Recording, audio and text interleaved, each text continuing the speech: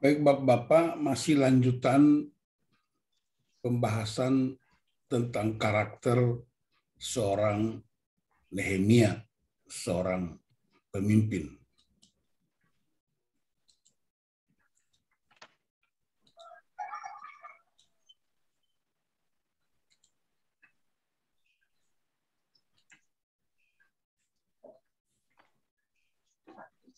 Judul yang saya pilih untuk bagian keempat ini ialah pemimpin turut bersuka cita atas sukses sesamanya.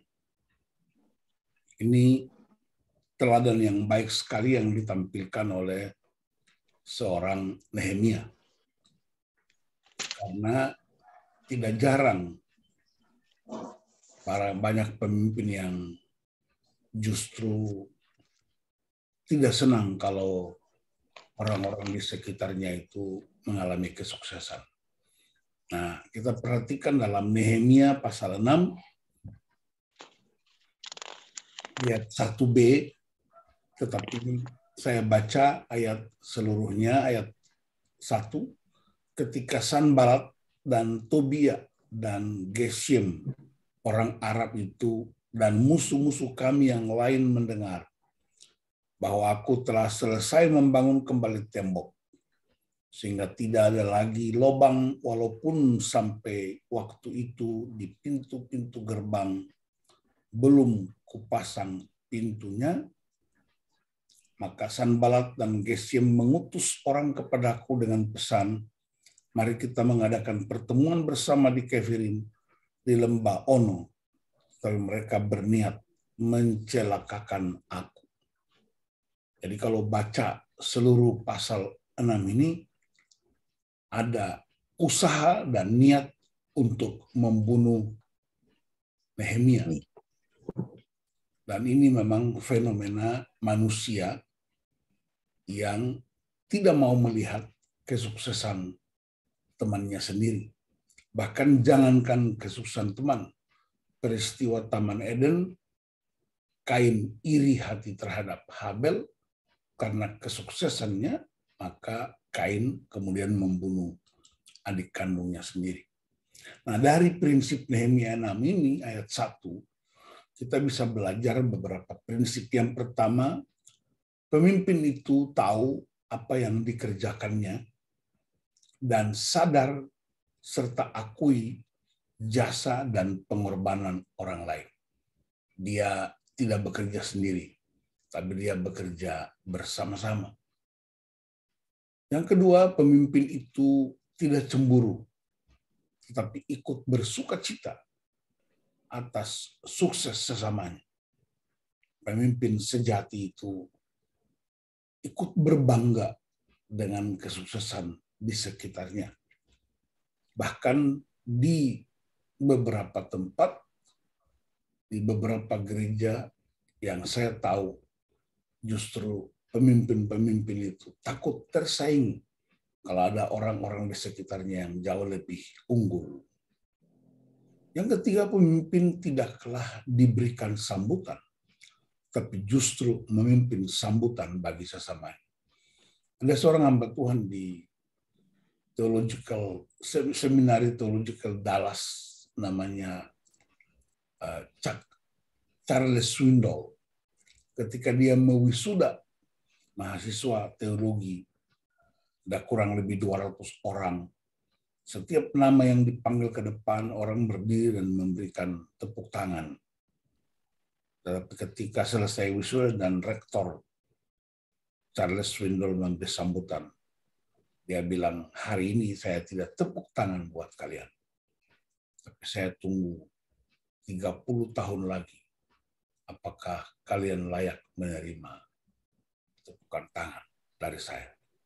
Jadi pemimpin itu dia memberi motivasi dan memberi dorongan supaya orang-orang di sekitarnya itu menerima sambutan yang hangat dari lingkungannya.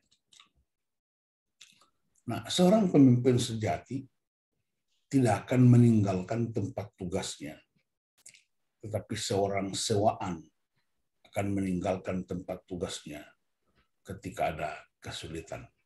Amsal 28 ayat 1. Ketika ancaman demi ancaman datang kepada Nehemia, dia tidak lari, dia tidak meninggalkan tempat tugasnya, dia tidak meninggalkan tanggung jawabnya, tapi dia tetap ada di sana.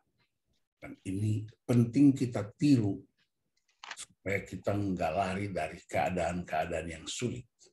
Kita nggak lari dari tempat-tempat yang begitu mengancam.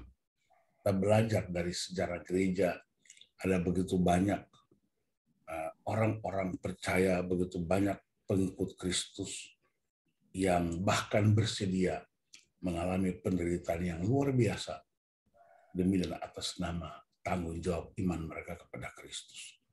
Begitu juga dengan kita di dalam rumah tangga kita, pria-pria yang ketika menghadapi masalah dalam rumahnya, dia tidak lari dari rumahnya, dia tidak lari dari tanggung jawabnya. Dalam kenyataan Alkitab kita temukan musuh-musuh itu berusaha dengan keras supaya Yesus melarikan diri. Tetapi justru Yesus menolak untuk mengubah tujuannya. Dia tidak mau ubah tujuannya. Sekali dia menetapkan visi misinya, apa pun keadaannya, dia tetap konsisten. Kita juga ingat dalam kisah para rasul 20 ayat 22 sampai 23, Rasul Paulus setelah mengalami perjumpaan dengan Kristus, dia terus melanjutkan perjalanannya walaupun dia tahu bahwa penderitaan itu menantinya. Dan dalam seluruh perjalanan Paulus, dia banyak sekali mengalami penderitaan-penderitaan karena kebenaran Kristus itu. Dan yang paling penting juga buat kita, kita sebenarnya harus lari dari dosa dan godaan. Kejadian 39 ayat 12 tentang Yusuf yang lari dari godaan istri Potifar. Kita lari dari godaan, kita lari dari dosa, tapi tidak boleh lari dari tugas. Nah, Tuhan Yesus sendiri pernah menegur murid-muridnya ketika murid-murid itu menghalangi orang-orang lain untuk datang kepada Yesus.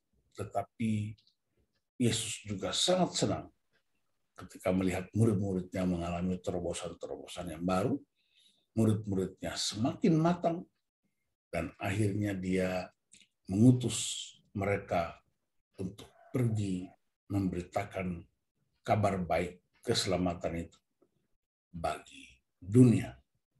Dan dalam pelajaran pria kita temukan satu prinsip ilahi yang sangat dahsyat, yaitu tanggung jawab berhenti di sini.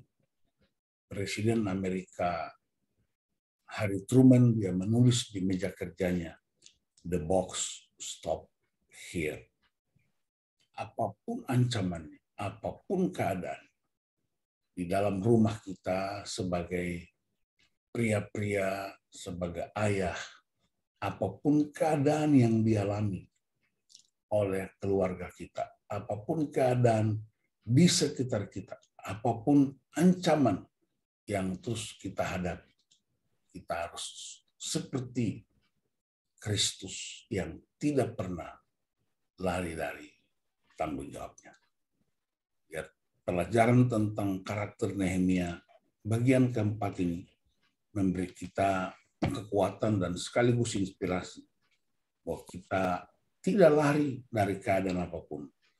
Kita harus lari dari dosa dan godaan tapi kita tidak boleh lari dari tanggung jawab kita sebagai seorang ayah, sebagai seorang pria, sebagai imam dalam rumah tangga.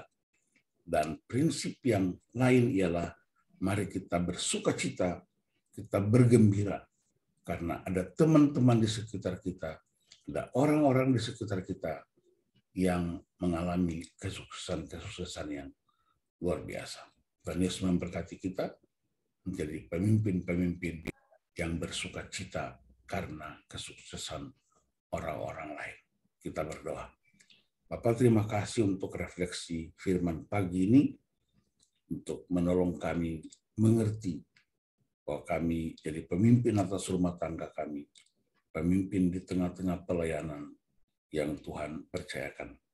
Biarlah firman Tuhan ini menguatkan kami, memberi pencerahan, dan memberi juga eh, kekuatan supaya kami menjalani sebagai pemimpin-pemimpin yang sejati. Dalam nama Tuhan Yesus Kristus, kami berdoa dan mengucap syukur. Haleluya. Amin.